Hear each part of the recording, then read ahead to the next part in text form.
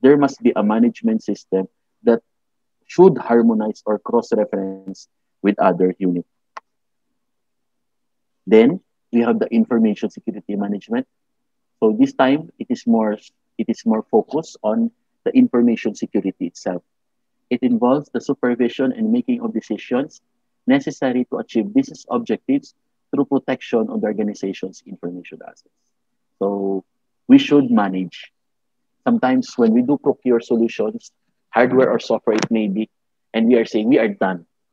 Everything is in place. We shall relax. No, there should be supervision. There should be proper monitoring. That's why, aside the cybersecurity unit should have an information security management wherein it could continually monitor, not just monitor, continually to analyze, and of course, mm-hmm. continually to improve the cybersecurity unit itself.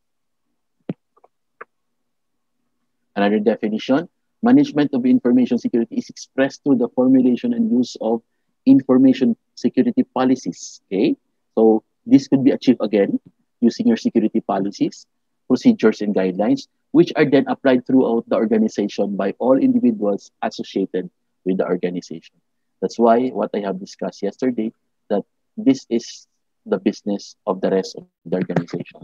This is not just the business of the top management. So procedures, security policies, procedures and guidelines should be applied to all members of the organizations, no exceptions. Because sometimes when we think that we will talk about cybersecurity, oh, okay, this is only applicable to the, all those persons who are inside the cybersecurity unit. No, it involves the rest of the people inside the organization and proper dissemination and proper awareness of the security policies and procedures and guidelines should be always uh, done inside the organization. Then, uh, if we have the security management information management system, we do have principles that we need to follow. So first principle is awareness awareness of the need of the information security. So it is not just the top management. There should be a cooperation from the whole. If we decide to, if we decide to enroll all the MAC addresses of our devices, mobile devices, inside inside the organization, then we should do so, including those who are under the utilities, even those under those who are cleaning the our comfort rooms.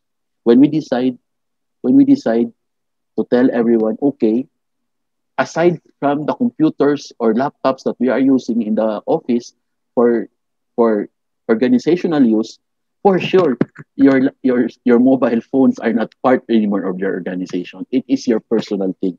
So if we decide that there should be a security policy that you should enroll all those MAC addresses of your or serial numbers of your devices, then all must comply because sometimes we are just careless that we are just focused on those devices and equipments that are found inside the office. We do forget about the devices that we own personally. So whether we like it or not i'm not say i'm not saying uh, this should be done but then it is very clear. Most of us are using our mobile phones every now and then as part of our communication process. So if there is a policy for that then we should all we should all imply even up to the top management even up to the president so there should be an enrollment because for sure you are accessing the wi-fi or the internet access of the organization if you're accessing the internet internet applica- internet application of your organization for sure there is a possible there is a possible way that breach or attacks will come from your phone going through the internet and then going inside your network. So sometimes we are focused on just things, but then we will forget. Others have two set two mobile phones. So we must make sure that we must enroll. So again, just an example for the enrollment of the mobile phones. Again, awareness is very, very much needed. Then second principle is that we have the responsibility. Assignment of responsibility for information security giving responsibility to ensure that key tasks are done with respect to your information security systems is important. Sometimes, especially us in the SUCs, we do are given the special order, and then all the responsibilities are given there. But those are just in the paper. They are not even done heart to heart. or that those are not just basically for I just don't know for documentation process or probably let me say this is the saddest thing for compliance that we do all of those responsibilities. And mind you, with all the responsibilities that is given or listed, you are just functioning as one, one responsibility there. So we must make sure when those responsibilities are assigned to us, we must make sure that when we list those responsibilities that is given to us, we must exercise our responsibility as well. It is not just on paper or for basically for compliance. The third principle is management commitment. Oh, this is very, very important. When we do say, when we do, when the top management will tell us, okay, we need to have, we need to make sure our organization is free or cybersecurity free. We are free from all breaches or attacks. And awareness, it must start from the top management. Incorporating management commitment in the interests of the stakeholders. So again, this could be done, of course, uh, still more on the awareness. So ensuring that your top management is involved in supporting your information security management system approach is critical. Without, you will fail. Of course, it will fail without them. Budget comes from them. So, and all the approval of the policies and standards. So we must make sure that they have a commitment. Oh, number four, this is the most important one. Get some values values are very important. Uh, in school, students would also would always ask, "I have learned nothing in school." But no, what is important in school is not about about the knowledge. What is important is the values, the values that they will learn along the way. Knowledge is just ten percent when they graduate, but then the most important thing is the values. What is the purpose of learning a lot of things without values. That's why when we do hire people inside the organization, value, we always check on the values that they have. Enhancing societal values inside the organization is very important. Secrecy, openness, respect, and trust is very important. And it must also be uh, not just for the top management, it's for the rest of the organization to have values. Then Principle number five, risk. Again, risk assessment, determining appropriate controls to reach acceptable risk levels of risk. So this is what we have done yesterday. We, we now identified what are our possible risks.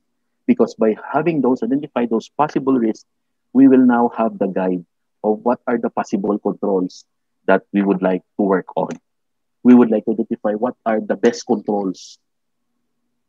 We would like to know what are the most applicable or the best or high impact controls that we will have in order for us to solve those risks. And mind you, uh, we talk about ISO standards. It is always a risk-based approach. ISO is always a risk-based approach. It always asks for risk because this is a standard which is very, very proactive, which tries to identify problems before it occurs. And then if if worst things happens, if it do occurs, what are the possible mitigation? Plan, do, act scenario, which is really very, very much of an ISO thing. Then we have the integrate, it should be integrated. It should be integrated. Security incorporated as an essential element of information networks and systems. Uh, it is not just, just in the cybersecurity unit. It must be integrated in all units. Security and the thinking behind the security of your information shouldn't be a bolt, or it needs to be designed as part of the thinking process. So it should be the business of the rest of the unit, not just in your network, in your systems. So integration of all of these things. Again, everyone's involved, uh, self-explanatory, active prevention and detection of information security incidents. We have discussed that by having those awareness could help us prevent and of course could help us detect possible in security incidents that may happen inside your organization. Then, uh, principle number eight, everywhere is involved, uh, ensuring a comprehensive approach of, to information security management. So, top to bottom, no? not just the work of the cybersecurity. Uh, and then, of course, the last security principles that we have, the last security principles that we have uh, is, of course, the continual reassessment of information security and making of modifications as appropriate. So let's face it, as you know, this is coming the right, coming right, any system without the use of continuous improvement will either die or lack of care. So no matter how good your system, there will always be changes needed, improvement made, and need to understand and embrace that. So it should be involved. It should continuously improve. As I've said, uh, information technology is a fast-paced technology. It changes every second. So as we continue to improve, we continue to also to check the skills and uh, knowledge of the hackers because it also continually improves. So that's why uh, usually top management would like uh, are very hesitant uh, in investing on all of these things because it is a very fast pace. So let's face it, three years is a lot of time already for investing for another equipments or another applications because of the fast pace. And of course, the continued safe threat. Okay, so having a security info, uh, information security management principles, then we move forward to identifying what are those information security management system components that we would like to focus on. So again, it's top of our list. It's the policy. And having that policy, it will identify the roles, accountabilities, and responsibilities of persons designated in those areas. And then uh, it's also in those policies that we should have a process, a process that would guide us, especially in the implementation and monitoring of the information security in the organization. Then, of course, number four, uh, there should be a documented information. Why is there a need for us to document information? It is very important that all things are documented because people come and go. That's number one.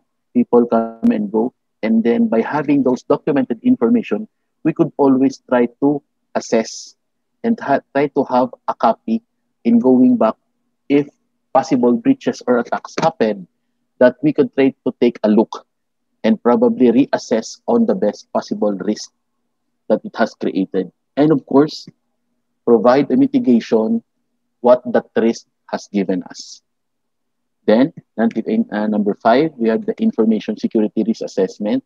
So by having that information, we could always reassess our risk that that possible risk might come in the near future as more and more crimes are being created, more and more uh, attacks, possible source of attacks are given. So we must continuously uh, reassess the risk that our system have possible in terms of our assets. Then, of course, if we do continually have risk assessment, we continually to have risk treatment and controls. So again, uh, we continually to modify our controls depending on the risk that we assess. So this is uh, uh, changing every now and then because possible risks are created. And of course, possible controls should be also in place in order for us to uh, be free from all those risks that was given to us. Then, uh, that we do have identify what are the possible critical success for factors so first, again, it's very, very clear that uh, there should be a clear-cut organizational context